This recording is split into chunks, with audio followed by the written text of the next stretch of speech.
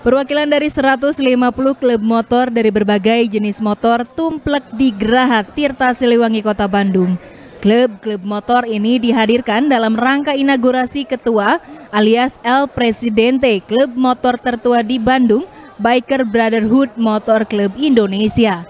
Layaknya pemilihan kepala daerah El Presidente BBMC Indonesia dipilih oleh Dewan Adat yang merupakan perwakilan dari beberapa komponen anggota klub. Dari hasil pemilihan akhirnya terpilih kembali Joni AZ yang biasa dipanggil Joni Bigut menjadi El Presidente untuk kedua kalinya.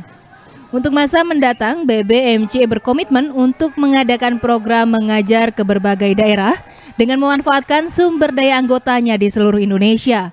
Namun khusus untuk wilayah Bandung dan Jawa Barat, BBMC lebih mengedepankan program bersama untuk meminimalisir aksi gerombolan bermotor di Bandung dan sekitarnya yang kerap meresahkan masyarakat sehingga mencoreng nama klub motor secara umum. Kita punya wadah yang namanya uh, Respect One Brotherhood, itu di dalamnya itu semua klub ada. Tapi di dalam itu tidak ada yang namanya ketuanya atau apa tidak. Yang yang pasti itu hanya eh, wadah saja.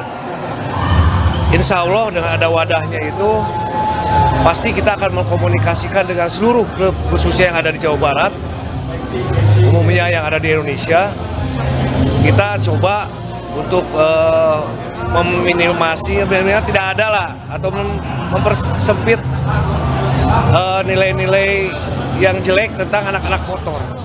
Sebagai klub motor tertua di Bandung dan telah mendunia, BBMC Indonesia telah membuka beberapa chapter di luar negeri termasuk di Amerika Serikat.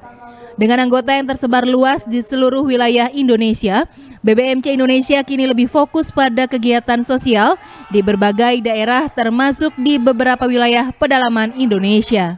Yuwana Kurniawan, Bandung TV